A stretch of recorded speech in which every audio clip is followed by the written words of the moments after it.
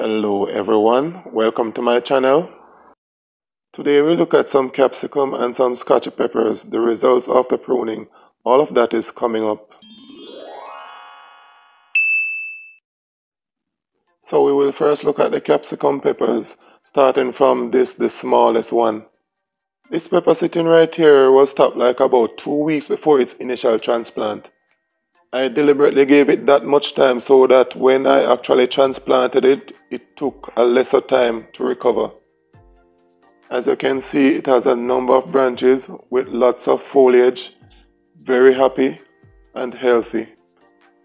It is just a little over four weeks since transplanted and it had actually started flowering already. And this is very good. Now we will look at the second plant which is doing exceptionally well. It is much taller and has way more branches.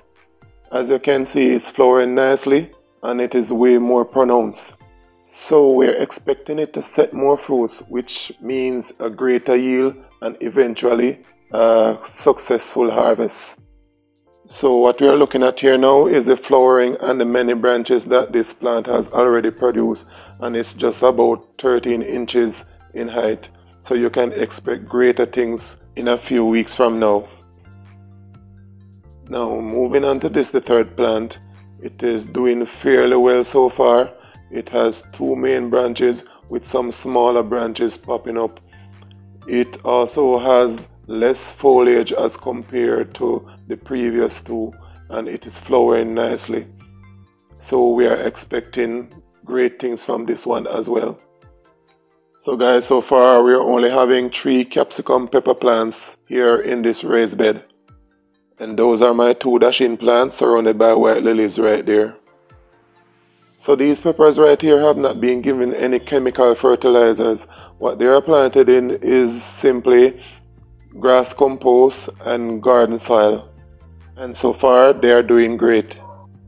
Guys, we have just seen the capsicums, so now let us take a look at the scotches. So we have in this planter right here five scotches, two were pruned and three left unpruned. We start by looking at the pruned ones. After being topped off, this scotch here is not doing too badly. It has two large branches at the top and a smaller branch at the lower end. It's looking pretty healthy right now. However, it hasn't started flowering as yet. Now let's move on to the other one right here. It wasn't doing so well after being topped off but has made a great transition since it was transplanted here. Now showing up right here is the area that was clipped and this has produced several branches as a result.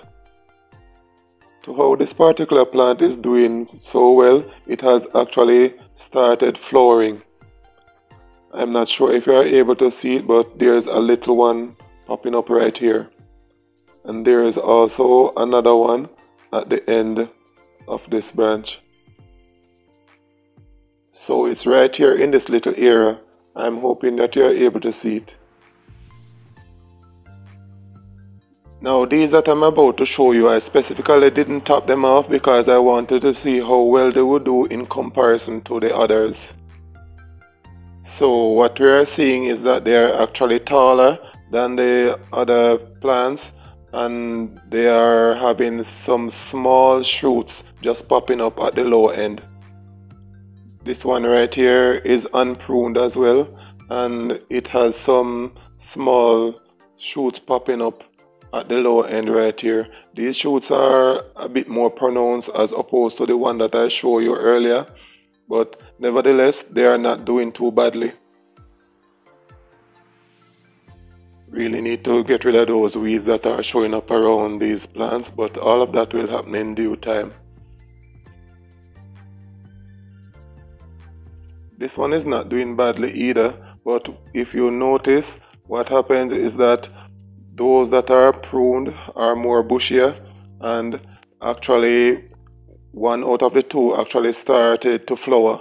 These three have not started any flowering as yet, but they are just showing up some small shoots at the lower ends. So guys, actually what you're seeing here is that I have five scotch bonnets and three capsicum peppers in this planter. Uh, so that's eight pepper plants. So if you're liking this video, please give a like and also to drop a comment down in the comment section. So it's pretty obvious that the prune plants are outdoing the unpruned plants, especially the bell peppers. They have more branches and obviously they are producing more flowers in comparison to the scotch bonnet peppers. Just to let you know, these guys were pruned on the same date and they were all transplanted at the same time. So actually what I did was to transplant these guys in the late evening where the temperature is much cooler. So they will have that cooler temperature throughout the night and into the morning. So this will help these plants now to actually recover quicker. So doing it this way is much safer because it will actually prevent the plants from shock as opposed to if I should transplant them in the morning and having to deal with the heat throughout the greater part of the day. Now guys, you can check out this video on your left to see how I actually do my hand pollination of my pepper plant. You can also check out my other videos after watching that one. Thank you.